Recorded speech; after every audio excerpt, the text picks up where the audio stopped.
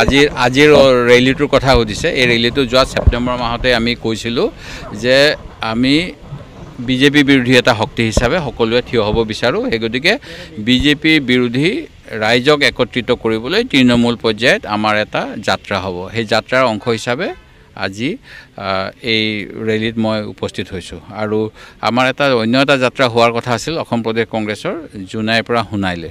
তেতিয়াই মই কৈছিলোঁ যে সেই যাত্ৰা হ'লে মানে মই এটা দিনত উপস্থিত থাকিম সেই দিনটো আজি আছিল সেই গতিকে আমি আহিছোঁ প্ৰথম কথা। দ্বিতীয় কথাটো হ'ল যিটো কথা কৈছে সন্মিলিত যি মৰ্চা মৰ্চাৰ ফালৰ পৰা আৰু দলৰ আমাৰ হাইকমাণ্ডৰ পৰা আলোচনা চলি আছে কেনেকৈ সমস্যাটো সমাধান কৰিব পাৰি। কাৰণ এটা ভাল এজন প্ৰাৰ্থী বিচাৰিছে। এতিয়া বিবেক দাস ডাঙৰীয়াতকৈ আৰু কোনোবা হয় নেকি মই নাজানো আপোনালোকৰ মুখতে এতিয়া শুনা পালোঁ।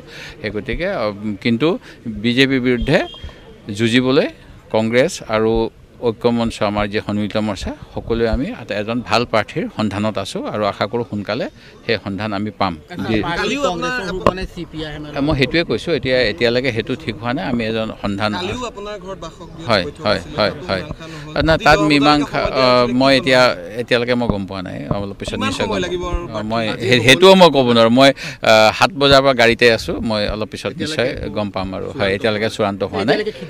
নাই। হোৱা। আৰু ইয়াতে অকল এইটো কথাই নহয় মই আপোনালোককো অনুৰোধ কৰিম বিহালীৰ বহুত সমস্যা আছে আমাৰ প্ৰাৰ্থীজনৰ ওপৰত নহয় এখন চৰকাৰখনৰ বিৰোধী প্ৰয়োজন হয় চৰকাৰৰ দুষ্কৃতিবিলাক আঙুলিয়াই দিবলৈ যোৱা সময়ছোৱাত সাংবিধানিকভাৱে আমাৰ অসমৰ বিভিন্ন জিলা বা বিভিন্ন অঞ্চল অসমৰ পৰা কাটি পেলাই অন্যান্য চুবুৰীয়া ৰাজ্য হৈছিলে। কথাটো হ'ল যে যিবিলাক জিলাৰ কাটি পেলাই ৰাজ্য হৈছে সেই জিলাৰ সীমাই ৰাজ্যৰ সীমা হ'ব লাগে।